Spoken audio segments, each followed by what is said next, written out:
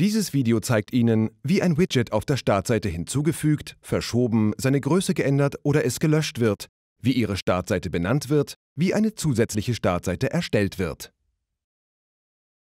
Zum Zugriff auf die anpassbare Startseite über den Bildschirm wischen oder den Pfeil links von der Startseite berühren.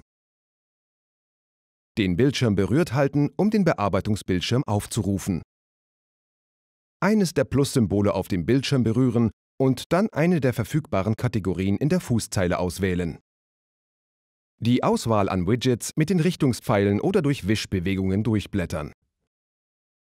Berühren, um ein Widget auszuwählen. Dieses wird dann auf dem Bildschirm angezeigt. Um das Widget zu verschieben, dieses berühren und an seine Position ziehen. Um das Widget zu einem anderen Bildschirm zu verschieben, dieses an den Rand des Bildschirms ziehen. Wenn keine zusätzlichen Bildschirme erstellt worden sind, erstellt diese Aktion einen neuen Bildschirm. Wenn ein Widget ausgewählt, zu einer neuen Position verschoben oder neu erstellt wurde, wird ein Größenumschalter angezeigt. Den Umschalter berühren, um die Größe des Widgets zu ändern.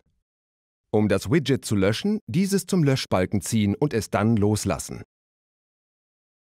Um die Startseite zu benennen, den Bildschirmtitel berühren und den Text über die Tastatur eingeben.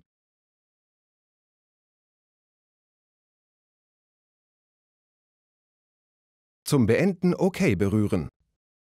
Um eine neue Startseite hinzuzufügen, das Symbol zum Hinzufügen eines Bildschirms berühren. Es können maximal vier Bildschirme hinzugefügt werden. Um die Startseite zu löschen, das Löschsymbol berühren und Ja oder Nein auswählen, um den Vorgang zu bestätigen. Sobald alle Bearbeitungsaktionen beendet sind, das Symbol zurück berühren, um Ihre Startseite anzusehen. Weitere Informationen zu dieser oder anderen Funktionen finden Sie in der Betriebsanleitung. Wenn Sie Hilfe oder Unterstützung brauchen, hilft Ihnen Ihr Jaguar Land Rover Händler gerne weiter.